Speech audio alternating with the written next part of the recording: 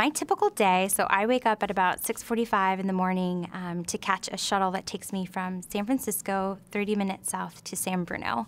Um, I'm on a bus shuttle that has Wi-Fi, so the minute I hop on, I'm checking Google News to check out the latest headlines, topics, and trends. So I come into work and know exactly what the state of the business is for my clients.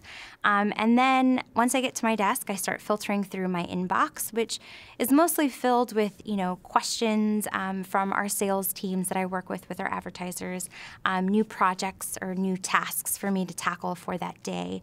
Um, and sometimes there are larger opportunities that might you know take over the course of months.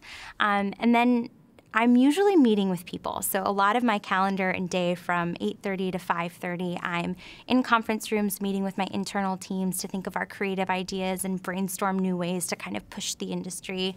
Um, and then the other half of my day is meeting with our clients and figuring out, you know, what their biggest problems are, what they need from us, how we can partner with them.